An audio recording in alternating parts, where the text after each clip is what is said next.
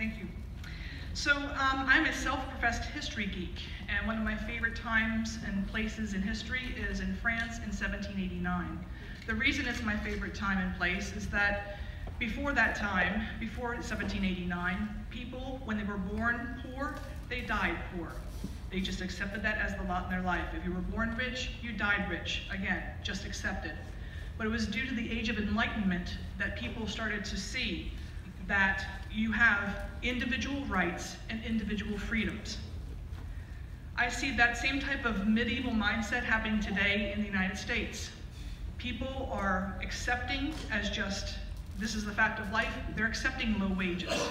They're accepting the fact that healthcare is only for those who can afford it. They're accepting of the fact that you must go into huge student loan debt in order to get any type of education. I'm here to change that. I say we can fight against. Those are lies, and they are shackling our the, this this American dream that we so so closely hold dear. I will fight if elected. I will fight to make sure people have livable wages. I will fight to make sure that you are not at the end of the month deciding should I pay my health care bill or should I pay my grocery bill. I will fight to make sure that everybody has access to affordable and, and good education. We need to stop letting them divide us. We need to start believing in the good future for ourselves. And I want you to think of me on May 15th, because if you send me down to Washington, I will put the represent back in representative. Gary Wegman, and I believe we need a representative in Congress who respects and reflects the values and priorities of all the people of the Ninth District, without regard to political party affiliation. When I talk to our constituents, they don't say to me, yes, we want more of those politics of division. No, they say we're all Americans here, Dr. Wegman. Let's come up with solutions for the betterment of all the people in our community, each and every one of us. Our number one priority is not going to be to build a wall or to not or to deny people, hardworking people who want to become Americans from entering our country. Our priority is going to be to create safe, secure, and high quality jobs for each and every one of us who work and live in our communities. We need to begin this process by fixing healthcare. As a medical professional with over 35 years of experience in this field, I am going to uh, begin by uh, advocating for a truly American healthcare system, one that starts by ensuring that each and every one of us is covered. This will not be a socialistic system, but rather one that will allow the private sector to compete for our healthcare dollars, and you will get to vote with your feet whether or not you're happy with the care and service you're receiving, rather than being subject to an in-network or out-of-network system. One issue, this one issue, if done properly, will bring us back billions of dollars that we can use for our infrastructure needs. We need to fix public education, but we're not going to do it by starving government or by allowing the wealthiest among us to not pay their fair share. There are people on this dais that have stated that they don't, they're skeptical whether or not climate change is caused by humans. I say it doesn't matter, okay? We, because we really need to share this finite source of soil, water, and air that we have. And we have the intelligence to understand that doing things that make our environment safer and healthier is smart business. And so in the best interest of our children's future, we want sensible protections and we don't want to throw our environment under the bus for a few short-term dollars. Thank you, Gary. Thank you. People in the 9th Congressional District, my number one priority becomes pretty obvious. Many of the working families are hurting and they feel that no one is listening. They really want to send someone to Congress from the real world. As a farmer, as a small business owner, as a former Secretary of Agriculture, I understand what hard work is. I understand what it is to meet a payroll. I understand what good public policy is, regardless of the politics behind it. The people in the 9th Congressional District share their values with me, the things that are important to them, it's integrity, it's accountability. If I'm elected, I promise to stay focused on these issues and carry these values to Congress.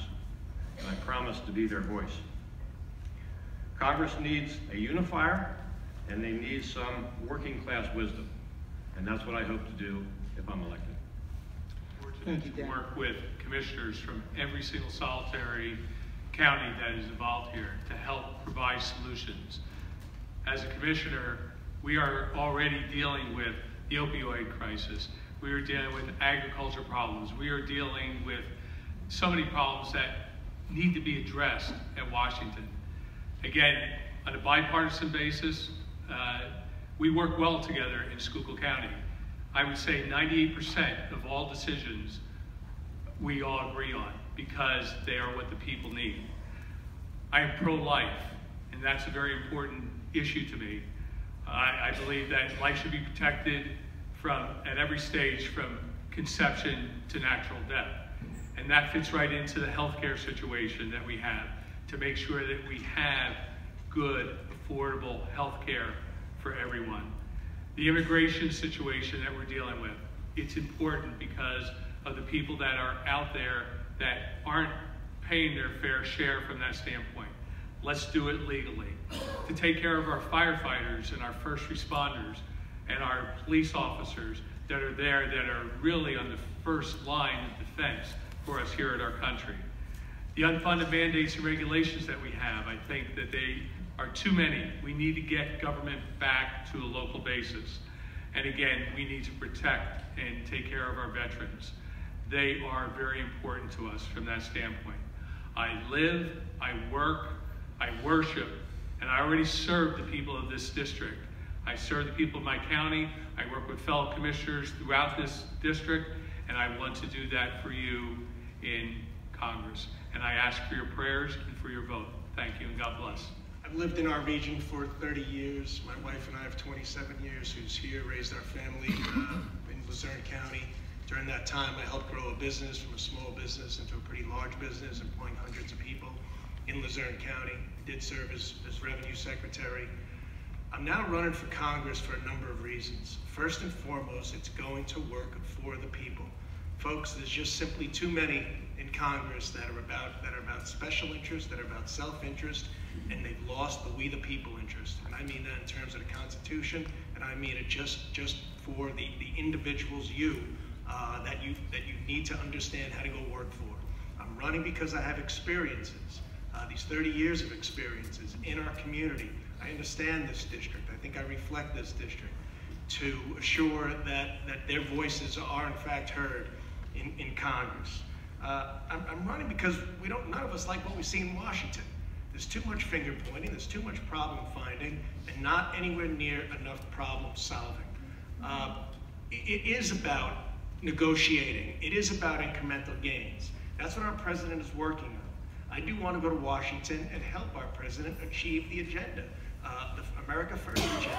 It is about economic prosperity for all. It is about national security, much of what we've talked up up here. And it is about draining the swamp so as we can gain more accountability. And that includes term limits. That includes a balanced budget amendment. It needs to happen in the next few years. And it includes a high level of regulatory reform. But the number one issue facing our country are obstructionists and those who think they know better than you and who want our government to be to be about their power as opposed to the people. And, and, and this tends to be the left. There's certainly those on, on the right that participate. And when I say left, I don't mean Democrats, right? Because in Washington, I know many good Democrats throughout this district. When you get to Washington, you have to follow Nancy Pelosi's lead, and most Democrats in the ninth aren't about following Nancy Pelosi's lead. They're about following Pennsylvania values. Thank you, Dan. I'm a political conservative. I'm a Navy veteran, a former Trump delegate, and a resident in Berks County. I'm entering this race and I'm running because I'm also, as a, as a middle class American, I'm tired of seeing the president's Make America Great Again agenda falter due to lack of support in the US Congress. The people in Congress right now do not have the interests of the American people clearly in mind. They seem to be mostly consumed with follow uh, with belonging to lobbyists and upholding special interests instead of thinking about the overall picture and improvement of life for all Americans. Items like national security, building the wall, deregulation are all very important parts of the President's Make America Great Again uh, agenda, and I fully support them. But the one issue that we haven't talked about here so much tonight is something I also feel very strongly about, and that is draining the swamp. Now, I know it's an expression and it sounds kind of trite, but it really is true. As a former serving naval officer and CIA officer, I'm very aware of the politicization that has occurred in our government, which we can see every day when we see things like the Justice Department and the extra legality and abuse of powers that we're seeing every day. Reminds me of exactly why I'm running. Because this government is supposed to be a government that treats everyone equally under the law. And I, for one, am sick and tired of seeing high officials abuse their offices and constantly block the agenda which the American people have voted for. Uh, Sean Hannity and Dr. Sebastian Gorka have endorsed my candidacy, and I feel very strongly about going to Washington, representing the people, and making sure that the President's Make America Great Again agenda is fulfilled. Thank you. Thank you, Scott.